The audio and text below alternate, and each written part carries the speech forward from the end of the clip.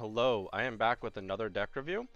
This one is not the most common deck right now, but I'm doing it because I think it's a really enjoyable deck to play. Um, you've seen it in a few videos that I have, whether it's from me playing it or from me playing against it. And I probably comment in those videos that it's a deck that I just like and, and wish could be a little more popular. I'm hoping it gets a little bit more support soon because it was very popular a couple of years ago and has faded off because it just hasn't gotten a lot of help. Um, but all that said, this is the Blue Eyes White Dragon deck. So to start off, the strengths of the deck are, first off, just power. Um, Blue Eyes has always been a very strong monster. We're talking 3,000 attack points. There's other, you know, different monsters within the archetype that you can bring out with a similar attack power, and building on the next strength of being the ability to summon, and, and summon a lot of them, sometimes very quickly. When you combine that with power, you can win quickly, and, and it can be just an onslaught. Um, so the strengths are, are, very clearly there, but this is also not a deck that, like, if you've never gotten to King of Games, that I would recommend trying to get there with. There are much, much better options for it because of the weaknesses. And the weakness, the first one is that there's not a ton of protection. It kind of makes up for the lack of protection with the ability to summon and, and bring monsters back onto the field. However, you know, if your opponent can generally target them with card effects, can generally um, just get them off the field very easily in, in ways that are outside of just attacking. So that is the biggest thing holding it back. And then on top of that, you also have a bit of inconsistency with what you can get out. Let's say just your first draw. Sometimes you can get out a bunch of blue eyes. Sometimes you can get out um, one of the white stones and, you know, wait till next turn to get something out there. Uh, so with that, a little bit of speed um, at times can, yeah, just make it a little bit slower too. So with the ability to summon, I'll just walk through like really quickly. Because we have the alternative dragon, so if you have another blue eyes in your hand, you can bring it out. You have the maiden, where if it gets targeted with an attack or uh, an effect, then you can bring out a card you choose with the blue eyes. The white stones, where they go to the graveyard, you can summon there. Um, dragon spirit's one of the ones you're going to target. Um, the sage, you can discard and bring a tuner to your hand, or I'm sorry, discard and target one effect monster on the field and bring out uh, a blue eyes. So if you use the Sage to target the Maiden, then you know you can get two out immediately. Obviously, if you're Blue Eyes, but then all of those Blue Eyes are in the graveyard, you can Monster Reborn, bring one back. Cards of Consonance, you can discard an egg, draw two. So you get to bring a Blue Eyes out at the end of the turn, and then you get to draw. So moving through the deck very quickly too. Uh, Melody, you discard one card, any card, and draw two Blue Eyes. Um, Ancient Rule, uh, bring out a Blue Eyes from your hand. Karma Cut, this is like one of the biggest forms of protection, where you can discard one card and then target one face-up monster your opponent has and banish it. Now I'm going to highlight the discard one card because you can obviously discard a white stone. You can do it on your opponent's turn. At the end of their turn, you can bring out, you guessed it, a blue eyes.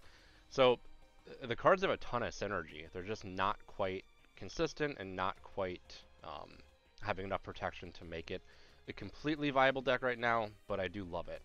Now, the extra deck is very flexible, and we have the, the Blue Eye Spirit Dragon, a little bit of a, a, a um, a Necrovalley effect of you can basically stop targets that are, or cards that are targeting graveyard monsters, so pretty relevant in the meta today.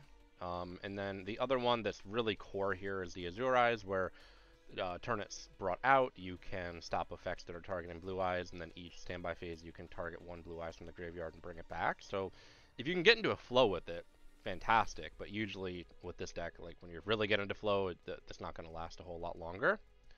Now, with the the uh, attack power, we also have the Ultimate Dragon's um, skill, which is obviously what you want to be using.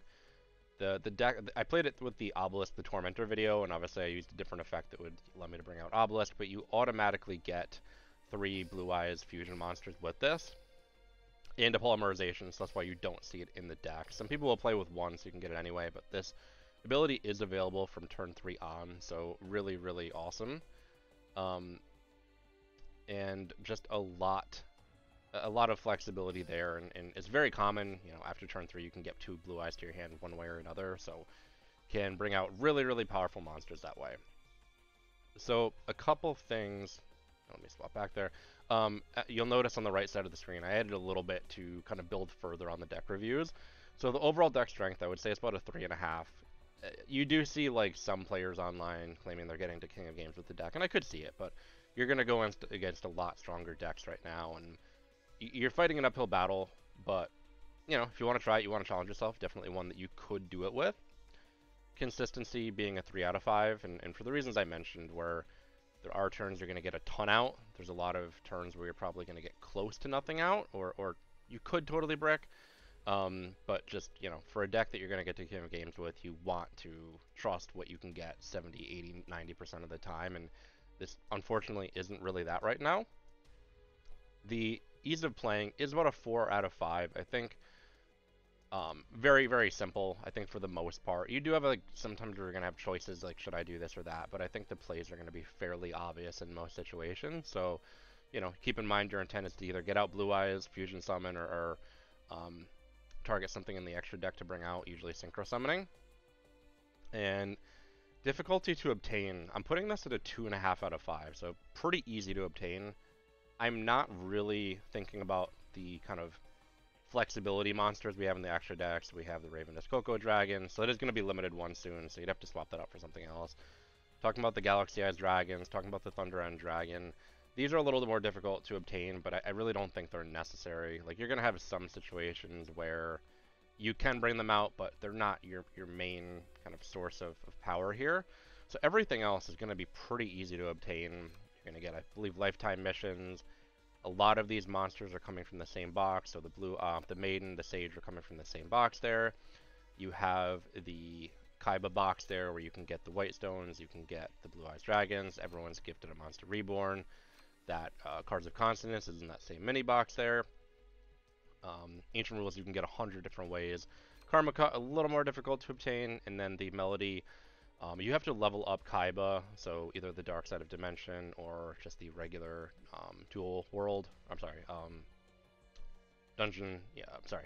yeah, the duel world. Um, you'll get it there. So overall, you're not spanning across a, a bunch of different card boxes to get to these. So with that, like if you're very new and you're just looking to get up towards like legend and ranked, this would be a really good um, deck to work with because again, you don't really have to go for a lot of the XD's monsters in the extra deck and the Ravenous Cocodragon. Um, you know, they're they're nice to have, but they're not core.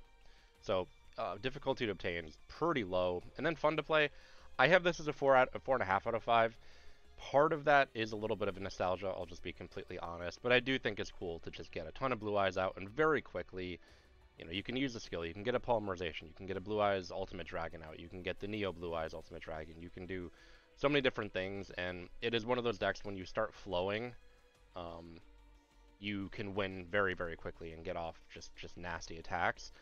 And on top of that, I, I do like sometimes these rogue type decks of you know that you're playing a deck that's probably a little worse than the most common decks. So when you get a win, it feels a bit better.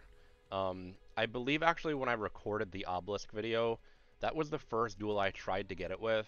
I played it against a, a deck using Resonators, which was just after the recent box came out and the deck was revamped. Um, I didn't have a ton of trouble. He got two very strong uh, Synchro monsters out first turn. I believe it was first turn. I took them out, and then from there was able to bring out two Blue Eyes and Obelisk and just kind of run away with it. So you know, it feels good to overpower someone with this generally in a better deck, and you just have fun with it. So that is my review. There is a little bit of flexibility. Last thing I should add was some people play like uh, spells and traps that have a little more protection on there. So there's a, a level of trade-off, but I think that if you make the deck any larger, you're going to get away from the core of like you're adding Book of Moons or that type of stuff. So it is hard to add a lot more um, protection without taking away from the core and the, the effectiveness with the synergy of these cards. So let me know what you think. I'm hoping this deck gets a, a bit of a boost with uh, more support very soon because I think it'll come back to top tier if it should. I know there's more cards, you know, around the archetype in the TCG, so it's not like that couldn't happen. Um, but yeah, let me know what you think. Is this a deck you've played before? Have a deck you've played against? And, and have any thoughts there? So, uh, appreciate you watching.